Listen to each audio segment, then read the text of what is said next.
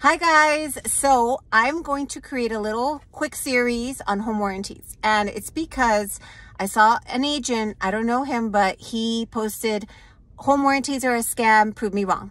So I'm going to go through a few myths and truths about home warranties, okay? Um, they don't cover anything. Not true. Now, the important thing is, and you're going to hear this a lot, is education, okay? Not all home warranties are made the same. So read through the home warranty.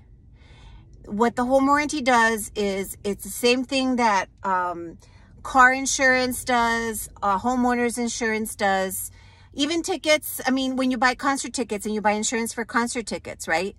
It's that security blanket and peace of mind. So read through educate yourself, talk to your local home warranty rep about what is and is not covered so that you can educate your client. That way, when something goes sideways, they know if they are covered.